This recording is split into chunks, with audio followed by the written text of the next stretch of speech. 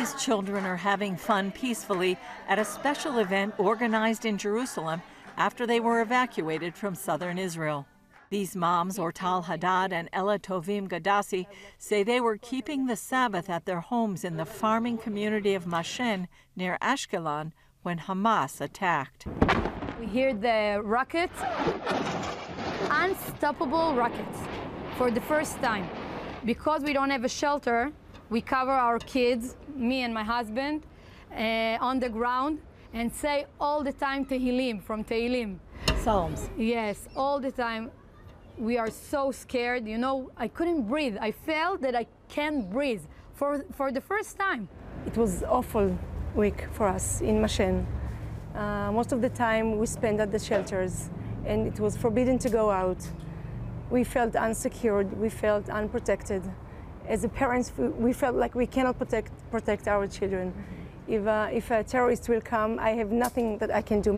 David Nekrutman of Isaiah Projects says they hope to restore a sense of security to these people. We said we're going to adopt a community. With my friends, and after 23 years of working with different organizations involved in Jewish-Christian relations over the years, everyone came together and saying, we're, we're, we're standing behind you, David. Nine days after the beginning of the war, Nekrutman and other ministries helped evacuate Moshav Mashen to Jerusalem.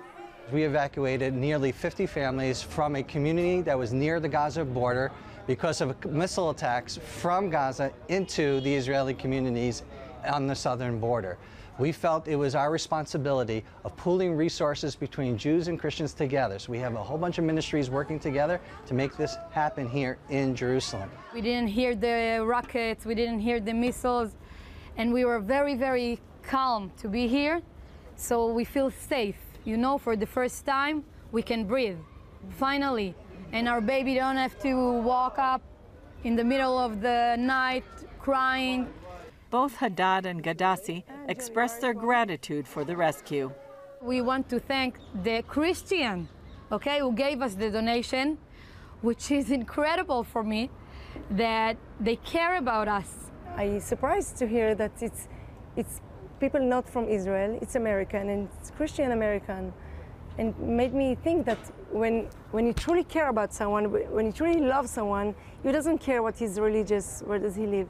As a teenager, Haddad had to evacuate her home almost 20 years ago when Israel uprooted some 9,000 Israelis from communities in the Gaza Strip and northern West Bank as part of the 2005 disengagement.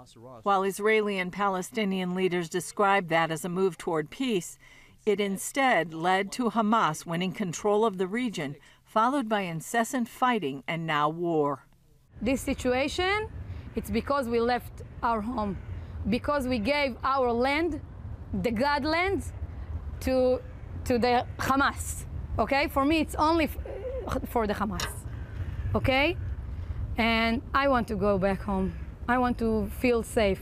You know, in Gush Katif, I felt safe, safe. Now I don't feel safe. Nekrutman says while much of the world has condemned Israel and calls to free Palestine, he believes that means being free of Hamas and urges Christians to pray.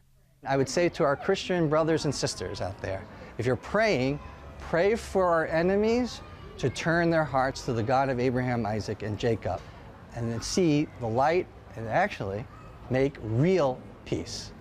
Julie Stahl, CBN News, Jerusalem.